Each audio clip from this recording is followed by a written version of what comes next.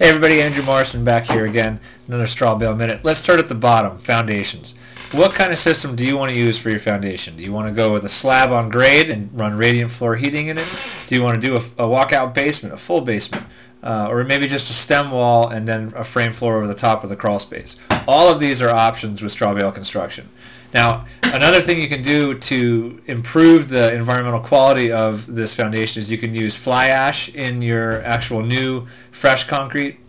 If you're doing a slab on grade or a widened footing or something like that, you can also use riprap, which is basically you can pull out old existing concrete, smash it all up, and throw it back into uh, the forms, and then pour in and around it. You need to use a slurry or a wetter concrete mix so that it can get underneath all of that uh, that old concrete to make it uh, solid again.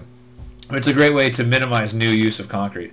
So it doesn't matter what necessarily you use as your foundation because any option is available to you with straw bale, but make the attempt to keep it green. Again, fly ash, uh, minimizing new new use of concrete, uh, minimizing concrete in general. You can do riprap foundations, all kinds of different things.